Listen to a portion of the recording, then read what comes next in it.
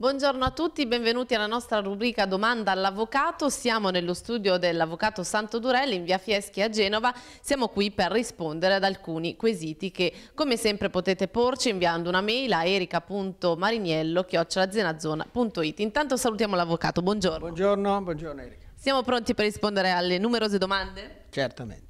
Bene, allora iniziamo con la prima. Qui si parla di un rumore che di solito insomma, eh, si sente nei piccoli paesi, come in questo caso si tratta delle campane. Sentiamo che cosa dicono. Gentile avvocato, abito da non molto in un piccolo paese nei dintorni di Genova, nelle vicinanze di una chiesa. Le campane suonano tanto, anche rintocchi nelle ore mattutine sono frequenti. Il problema è che eh, molti in paese dicono che è una tradizione e che il suono non dà loro fastidio. Posso fare qualcosa?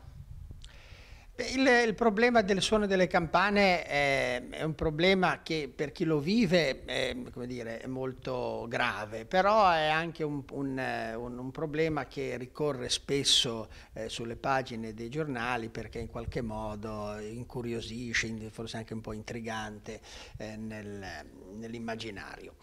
però, ti ripeto, è un problema serio per chi eh, lo subisce e quindi va inquadrato il problema dal punto di vista eh, giuridico per trovare una soluzione. Eh, premetto che il, il, suono delle campane è equiparato eh, in linea di massima a, qualu a qualunque altro eh, suono emesso da strumento eh, musicale e di conseguenza è soggetto ai limiti che hanno gli altri strumenti eh, musicali. Eh, c'è però una particolarità che il concordato tra Stato e Chiesa prevede che tutto ciò che attiene alle funzioni religiose eh, sia regolamentato eh, appunto dalla, dalla, dalla Chiesa e di conseguenza bisogna capire se l'uso del strumento delle campane sia in funzione della cerimonia religiosa o meno.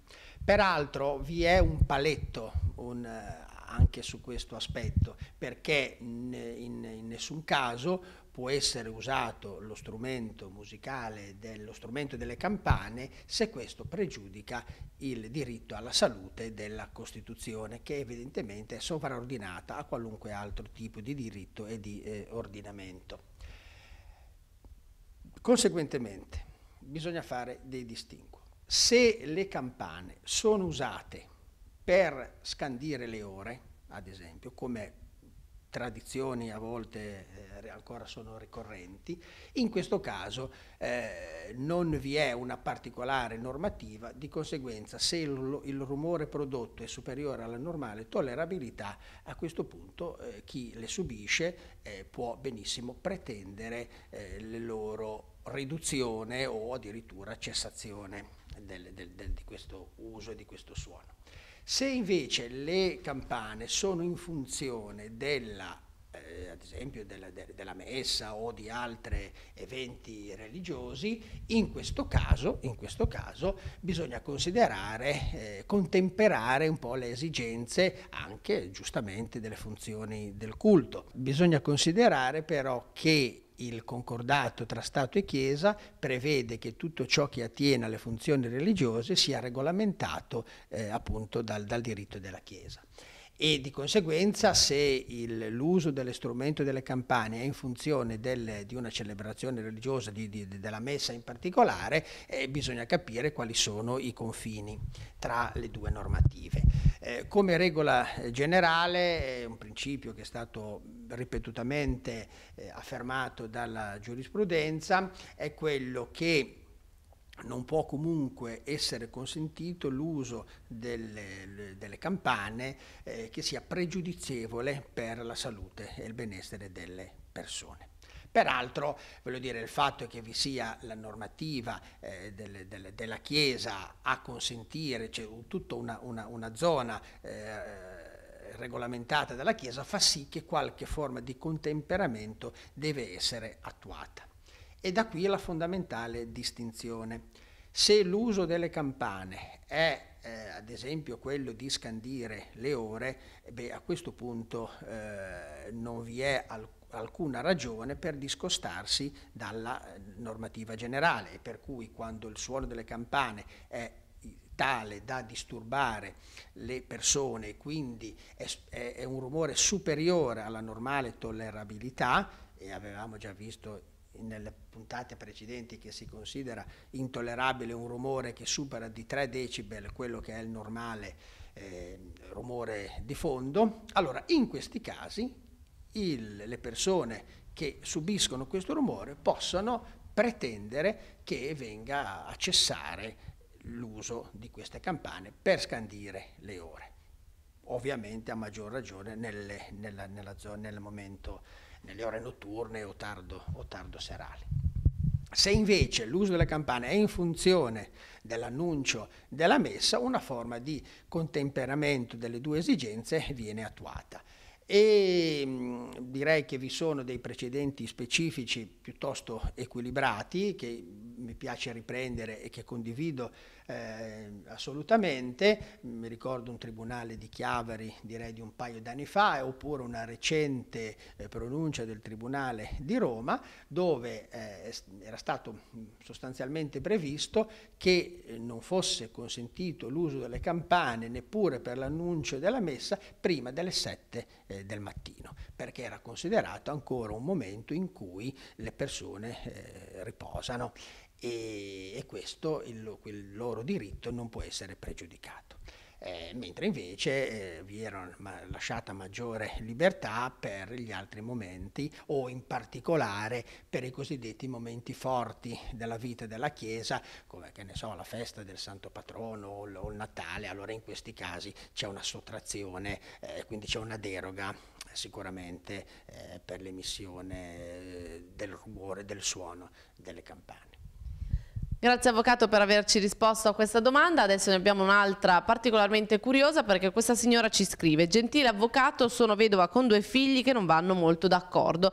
Ho due appartamenti di valore equivalente, vorrei fare il testamento lasciando un appartamento a ciascuno, ma un paio di anni fa ho dato dei soldi per acquistare l'appartamento ad uno dei figli dove attualmente vive. Questo può comportare dei problemi? Beh, questo potrebbe in effetti eh, comportare dei problemi nel senso che eh, l'altro figlio eh, può eh, avanzare delle, delle, pretese, bisogna capire il caso eh, concreto. In linea generale si può dire questo, allora qui parliamo di una successione testamentaria, la signora intende fare eh, testamento, quindi la successione tes testamentaria che si contrappone, che, si, che è diversa rispetto alla successione legittima ossia che, eh, la successione che si apre quando la persona che, che muore non fa testamento. Nel caso di due figli soltanto come eredi, in caso di morte senza testamento, il patrimonio si divide in parti uguali tra i due figli.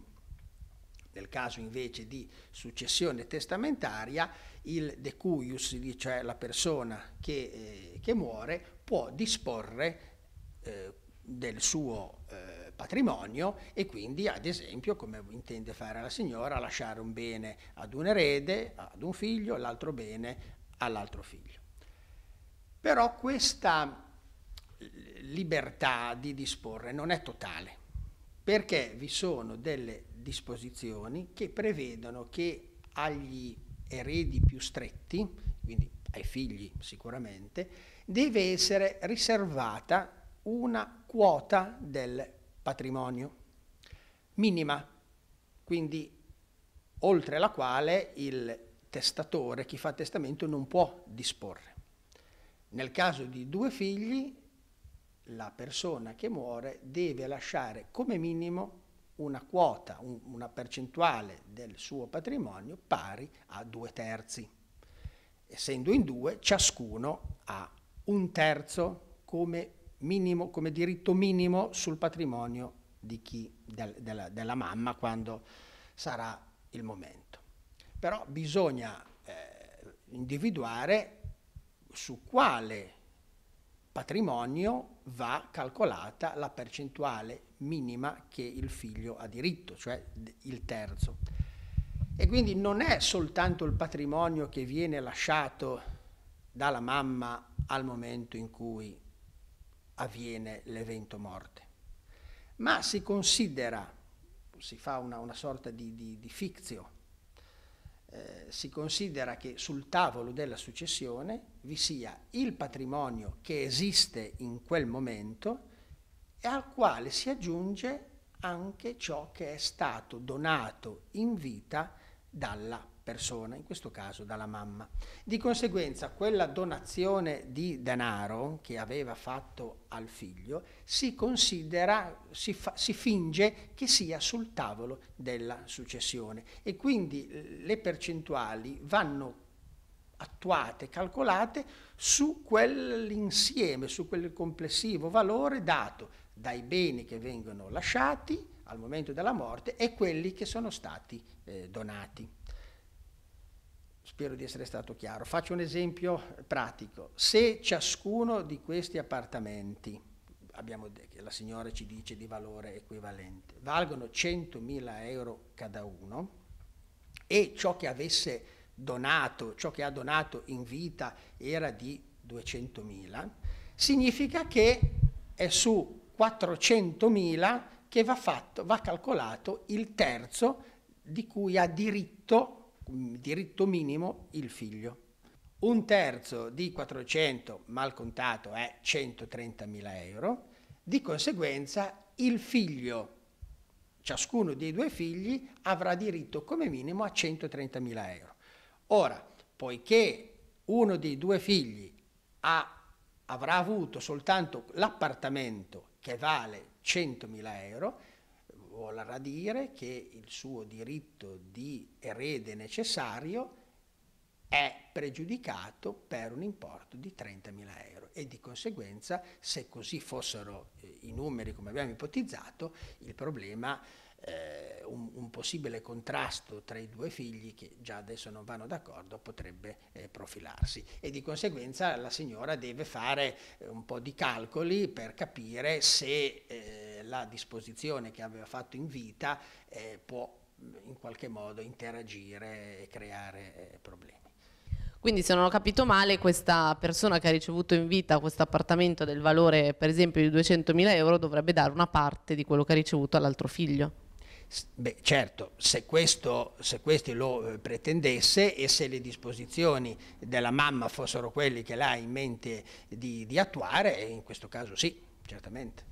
Bene, grazie per averci risposto anche a questa domanda. Io vi ricordo ancora una volta l'indirizzo mail a cui inviare i vostri quesiti, erica.marignello.it e noi ci rivediamo insieme all'avvocato alla prossima puntata. Grazie di averci seguito. Arrivederci a lei.